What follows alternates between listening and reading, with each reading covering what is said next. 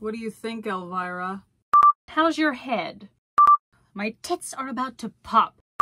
God.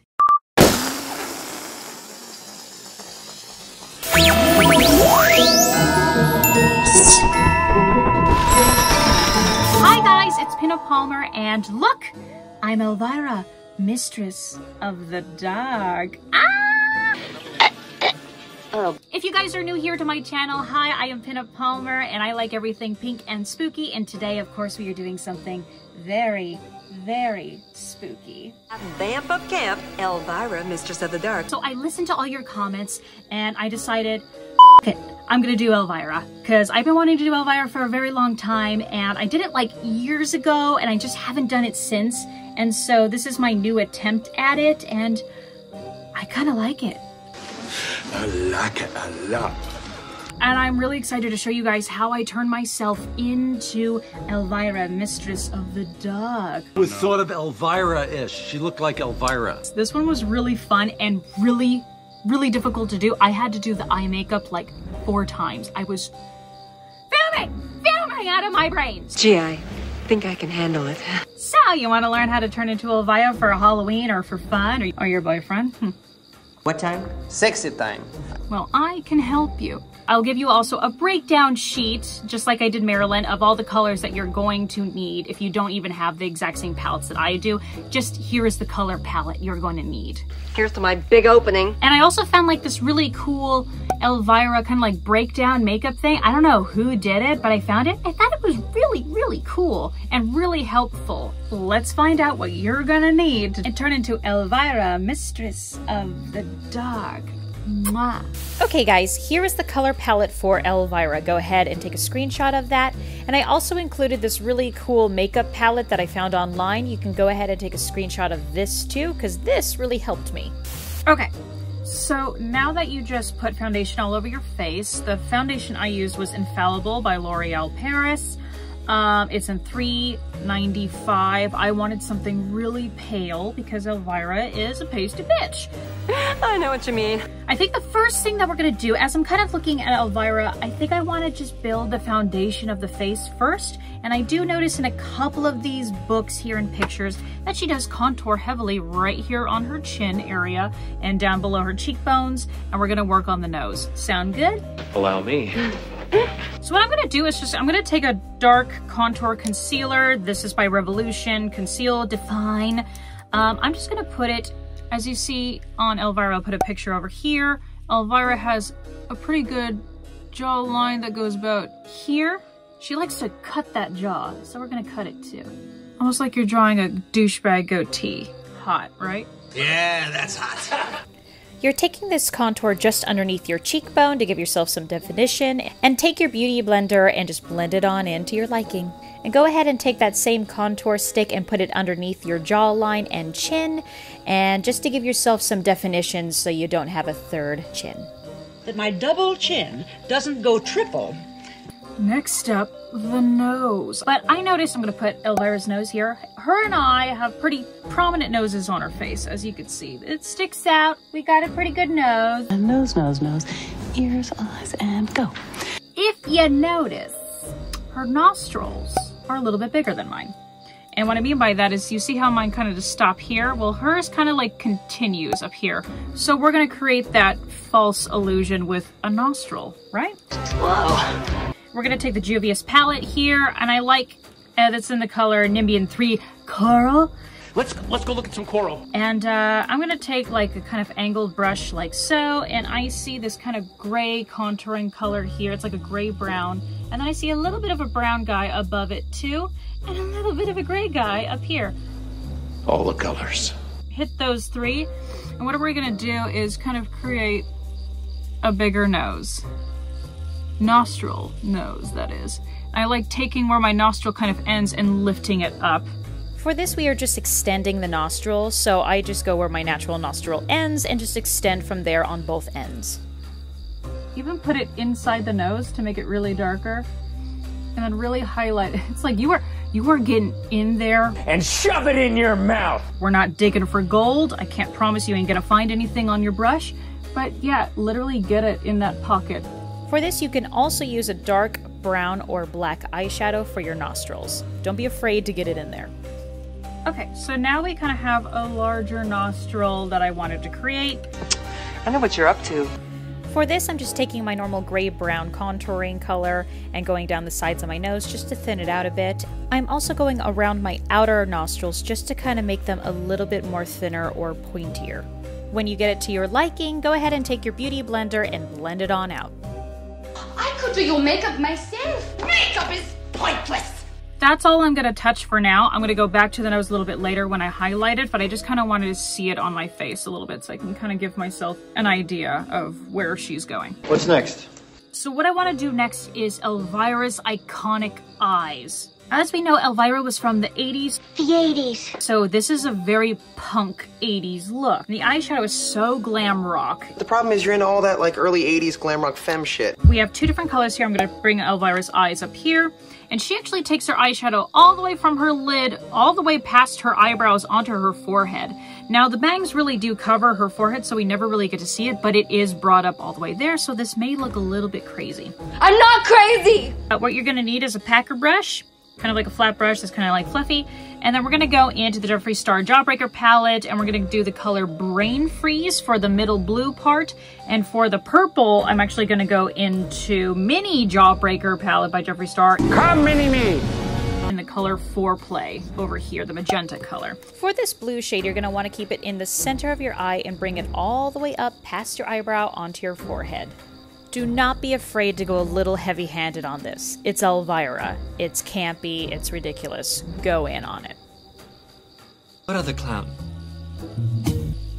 For this next shade, we're going to take that purpley pink color and apply it on the inner side of your eye and the outer side of your eye. And do the same thing like you did with the blue. You're going to take it all the way up past your eyebrow and onto your forehead. But for the outer eye, wing it out just a little bit to give yourself more of a vampy look. And just blend it out. Completely natural, something fresh, maybe on your first date. And what I am doing now is just blending all the colors kind of together, but still keeping that streamline look. And I'm blending it up and out, blend up and out, even though I'm starting to look like the clown from Spawn. That's okay. I hope I didn't stain my underwear. This is a look. Yeah, I'm good, definitely going for more of the 80s Elvira. A little bit much. And it's kind of wild to look at, but very 80s. I feel like Twisted Sister. Here is what's coming up next, and this is the scariest part of Elvira to me. Oh, great. Did somebody fart in here? Her eyeliner shape. Now let's bring up Elvira's eyes, shall we? Here. Well, let's just start off with a wing. Let's just start off with one wing, and then we're gonna build on top of that because there's a lot going on, okay? For the first attempt at the eyeliner, I'm just going to do a normal winged eyeliner. And don't be afraid to go a little thick on the eyeliner because Elvira's black eyeliner is actually really thick. And in hindsight, I actually would have done it a little bit thicker than I did, but whatever. Just start with a normal winged eyeliner. That thick? That is my first wing that I'm going to do. Elvira creates a false lash, like a really spiky lash on her. So you have this wing, and then we're going to do another wing that's closer in, then another one, then another one. And then another, and another, and another. She had about four different spiky wings to create like this cartoony eyelash on her. So with this, I think this other wing is going to be about like right here. So with the second step of the eyeliner, act like you are doing a normal wing, but just closer in on your eye. And you're going to continue that method at least three more times. There are four wings, one, two, three, and they should actually get smaller as they get closer to the corner of your eye. Please disregard my face during this moment. I am concentrating. Ghostface Killer to the stage, please. Here, I just started like a normal cat eye, and then I just kept making a wing and a wing. So I'm gonna take this and do the other side, okay? I guess that means you're tired of me. Oh, okay. So that's it for the top eyeliner for me. This is just like the lash effect. These clearly don't look alike, but we're praying that the bangs will do the job. Anyway. She has a weird dark purple crease to create like a fake crease above everything else. So it's probably gonna go with the crease. So I'm gonna do the mini jawbreaker palette. I'm gonna have a little small brush. I'm gonna hit this dark purple here in the middle and it's called Purple Punch. and I'm gonna punch into it. And we're gonna create a crease. For this, take a very thin brush and apply the crease around. You actually might want to put your crease a little bit higher than normal because of the fake eyelashes that you drew. And you're gonna take that crease all the way in. Down to where like your eye meets. Just kind of there. Now you're going to take that color and just wing it out on the sides. It doesn't connect to really anything, just kind of wing it out. So once you're done with this crease, you're just going to do the same thing to the other side, and then we're going to work on the lower half of the eye. I'll see you then. Sorry, left my magnifying glass at home. Now we're going to do the bottom half of her eye, which is just as important as the depth. I have two different kinds of eyeliners here. This one is from Italia. That's an Italian word. Italia 104 white, which is a skinnier pencil, and the other one is a NYX Jumbo white. Mumbo jumbo. And then I'm going to take my black eyeliners again. I'm not sure if I should do the black or white first. I Black is white, and white is black. I feel like I should do white first. That's just my intuition. So I'm going to take this white So you're going to take a bright white eyeliner and you're going to go in your waterline and out of your waterline like a little V in the corner of your eye. Don't be afraid to drag it down past your waterline in the corner of your eye. Now for the black eyeliner. We're just gonna start like that. We're gonna take this and we're gonna pull it down and create kind of a V angle here. I'll show a picture of Elvira right here. So for this, you're going to extend your top eyeliner down past your tear duct and create a little triangle connecting to the center of your eye. And try to keep this black eyeliner as thin as possible. Do not go thick or else it'll ruin the whole illusion. I'm so confused! And try not to blend it with your white eyeliner. Basically, you are taking this black eyeliner and tracing around the white eyeliner that you just did. And connect the black eyeliner all the way to the end of your eye. And that's kind of Elvira's eye. Okay, we're gonna do the same on this side. Is it though? Now that you're done with your eyeliner, just make sure that you go over it and you keep that really white in the corner of it and clean anything up that you see. It's okay. My appearance is kind of a shock to everybody. Okay, now you're gonna go back into this palette and this pink color that you used here, you're gonna put it a, a little bit on the bottom of the eye. So we're gonna go back into foreplay, Enough foreplay. blend it out just a bit, keep it really tight, and add a little bit of that kind of purpley pink back into that bottom. Okay, Elvira's eyebrows, uh, there's really nothing defined about them. Now, what am I gonna do with you? And I also noticed too, she still has her red eyebrows underneath because she is a redhead like me. Ginger! Ginger! Yeah, she still kind of has them red. So I'm just gonna do kind of my normal eyebrows. They're nothing too thick, they're not too thin. They really aren't the focus of the face because the bangs really do kind of cover that point of it. Like I said, when it comes to eyebrows, I'm not doing anything crazy. They're really not defined on Elvira, so just do your normal eyebrows. If you want to have fun with it, you can add a little bit red in there to kind of keep it like Elvira's natural eyebrow color. So I'm gonna go back in with like a little shade of white by my nose and I'm just gonna kind of slender it, but I'm also gonna kind of focus on this tip here. That's what she said! Oh because Elvira's got quite an interesting tip of the nose and this piece kind of hangs down a little bit. So with white, I'm kind of like accentuating it. So now I'm taking that white shadow and putting it down the sides of my nose and around the edges of my upper nostril, and I am elongating the tip of my nose to give it more of a beak feel. Finally, I'm just going in with Fit Me powder in the lightest color, and I'm just kind of hitting underneath the eye and anywhere that I feel is a little too shiny for my taste. So shiny. And then now we're gonna go in with her crazy, crazy, crazy 80s fuchsia contouring here. And I'm gonna take the Dafna Beauty blush and she has this magenta shade and I'm just gonna hit it with an angled brush from Morphe. And we're gonna go right here.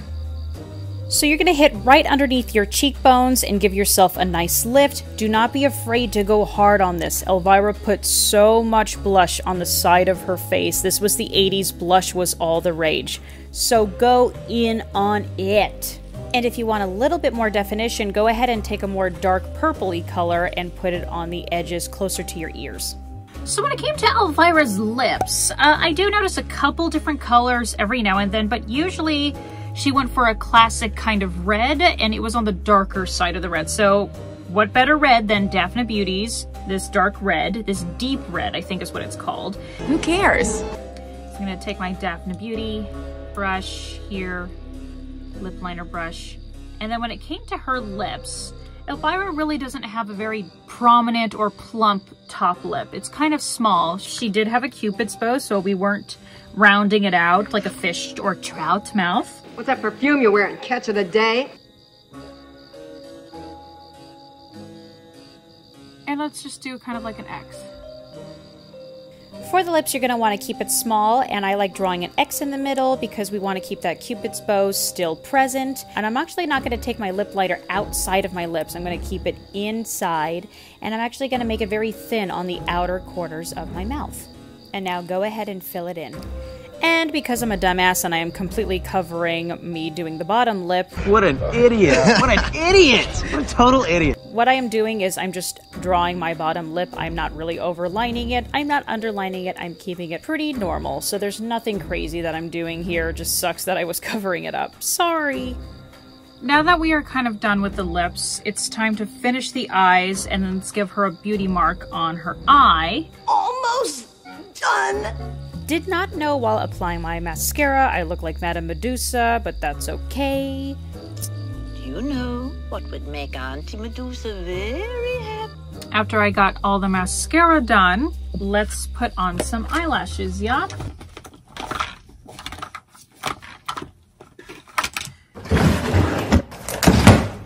So I got these really cool eyelashes from Kiss. They were the Lash Strip by Kiss. Can't read a word of this stuff. Okay, we're gonna cut the eyelashes just a little bit over here on the longest part of the corners. While the eyelashes are drying, go ahead and take a bobby pin, and you know what I'm doing. What is she doing? Just like Marilyn, you get that eyelash glue, you get it right on the tip of that. So I am taking that lash duo and dotting it on the corner of my eye to create a new mole. Underneath her right eye. Now that the eyelashes are tacky, go ahead and stick them on the outer corner of your eyes, and for an extra effect, you can lift them up above your eyelash line. So here is the wig that I am using. It is some cheap... Cheap? What are you calling cheap? Spirit Halloween, I don't know. It's the Elvira brand one. And you know what's really funny about this too is I know the girl on this. This is Vanessa Vamp. If you guys don't follow her, I'll put her here.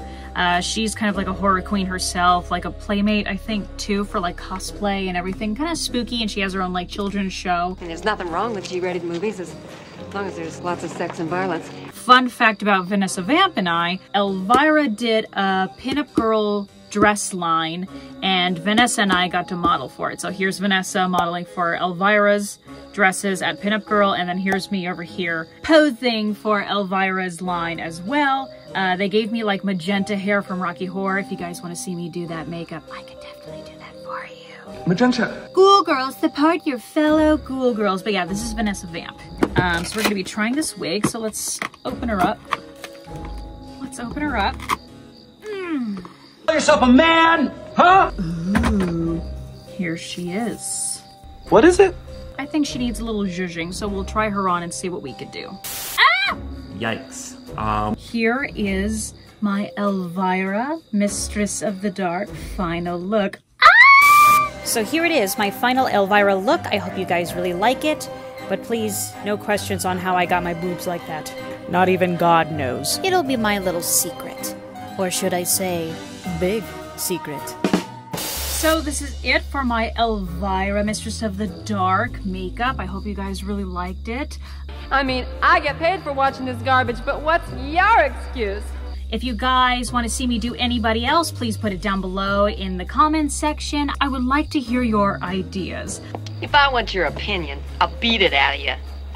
I'm Pinup Palmer. I keep it pink and spooky. And don't forget to subscribe and click that bell to notify yourself that I just uploaded a video. Ooh. Thank you guys for tuning in. I will see you next time, ghouls. How does she say it? Uh, oh. Unpleasant dreams.